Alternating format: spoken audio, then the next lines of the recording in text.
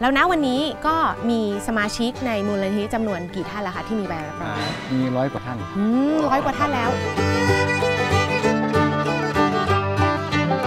วัสดีค่ะ อยู่กับแพรวหัสยาเช่นเคย ต้อนรับเข้าสู่รายการที่นี่มืออาชีพ รายการที่จะทำให้คนในอาชีพเป็นมืออาชีพค่ะสำหรับตอนนี้เพออยู่ที่แขนก่อนเฮ้ขอนแก่นนะคะ เรามาอยู่ที่บ้านสวนอ้อมกะโต้งเกษตรพอเพียง ตามห้อยพ่ออาจจะเพี้ยนนิดหน่อยนะคะ แต่สงสัยไหมคะว่าเกษตรพอเพียงเกี่ยวข้องอะไรกับใบรับรองจากสถาบันคุณวุฒิวิชาชีพ และที่สำคัญเกษตรกรนับเป็นอาชีพหรือเปล่าเข้าไปหาคำตอบกันค่ะ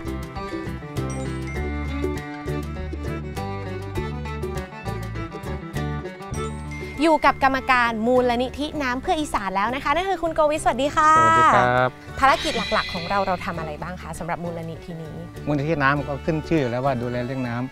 รับผิดชอบพื้นที่ 20 จังหวัดค่ะทางภาคอีสานนะครับ ที่ผ่านมาเนี่ยแน่นอนว่าได้มีความพยายามที่จะผลักดันในเรื่องของอาชีพให้กับเกษตรกรค่ะ ณ วันนี้เรามีแล้วกับใบรับรองที่ได้รับการรับรองจากสถาบันคุณวุฒิวิชาชีพ มีความคิดเห็นกับใบรับรองนี้ยังไงบ้างคะ บุคคลภายนอก ไม่รู้ไม่ยอมรับว่ามีความสามารถขนาดไหนอือหือพอดีหน่วยงานนี้เข้ามาปั๊บ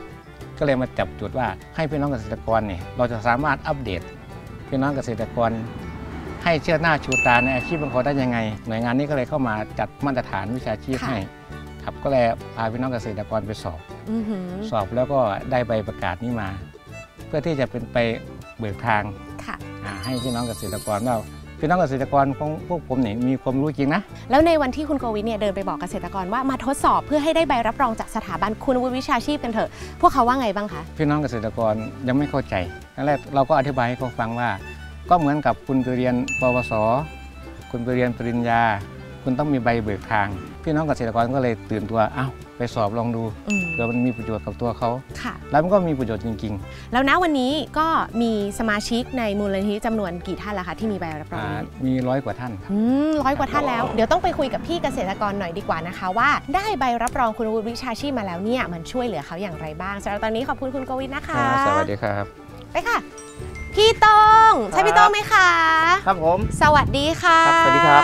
และนี่ก็คือพี่โต้งนะคะ เกษตรกรที่ได้รับการรับรองจากสถาบันคุณวุฒิวิชาชีพ ก่อนอื่นถามเลยว่าเกษตรพอเพียงมันคืออะไรอะคะทำทุกอย่างให้มีอยู่มีกินพึ่งตนเองได้ พี่โต้งคะประโยชน์สำหรับการได้ใบรับรองจากสถาบันคุณวุฒิวิชาชีพคืออะไรคะ ก็อย่างน้อยคือยกระดับอาชีพของตัวเองนะครับอืมแล้วก็ให้คนรู้จัก อย่างน้อยถ้าเรามีใบวิชาชีพพวกนี้เราก็สามารถไป เชิญชวนเป็นตัวการันตีว่าเราไปเป็นวิทยากรที่นู่นนี่นั่นค่ะแล้วก็มันก็มีรายได้เพิ่มขึ้น เกษตรกรตัวจริงเกษตรกรมืออาชีพของเราค่ะ ใครอยากเป็นมืออาชีพแบบนี้อย่าลืมนะคะ กับใบรับรองจากสถาบันคุณวุฒิวิชาชีพค่ะ เดี๋ยวสัปดาห์หน้ารายการที่นี่มืออาชีพจะพาไปตามหามืออาชีพที่ไหน ต้องติดตามกันให้ได้นะคะ วันนี้แพรวไปแล้ว สวัสดีค่ะ